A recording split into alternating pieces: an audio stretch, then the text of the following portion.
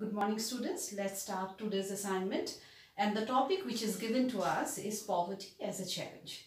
So here we go with question number one. Which two states in India continue to be poorest? So the answer is Orissa and Bihar continue to be the poorest states with poverty ratio of 33.7 and 32.6% respectively.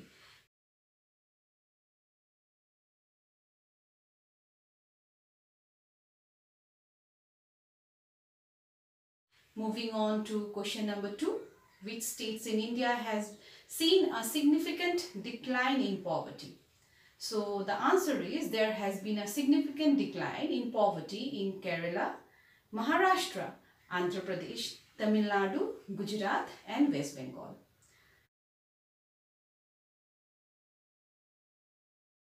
Moving on with question number three, which state has focused more on human resources development? So the answer is Kerala has focused more on human resources development. Moving on to question number 4. In which state land reform measure has helped in reducing poverty? So the answer is in West Bengal, land reform measures has helped in reducing poverty.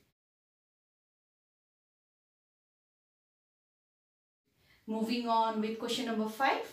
What led to the substantial decline of poverty in China? So the answer is the substantial decline in poverty in China has been a result of rapid economic growth and massive investment in human resources development.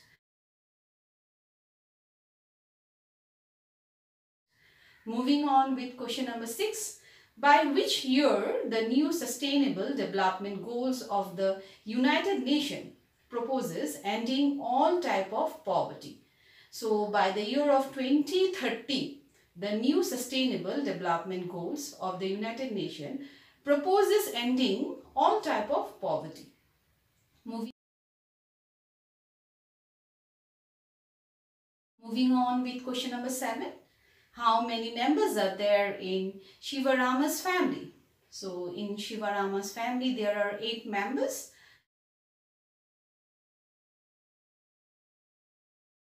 Moving on with question number 8. This is a fill in the blanks. So Karur is famous for its dash and dash. So the answer will be Karur is famous for its handloom and powerloom fabrics.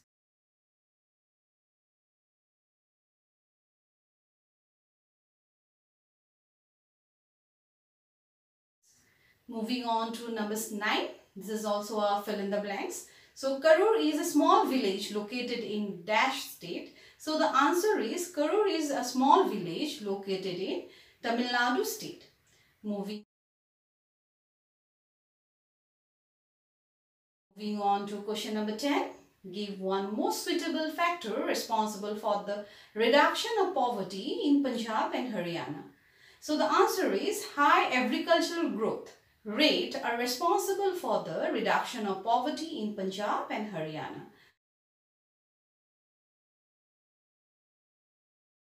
So today altogether we have 10 questions. That's it for today. Have a good day. Thank you so much.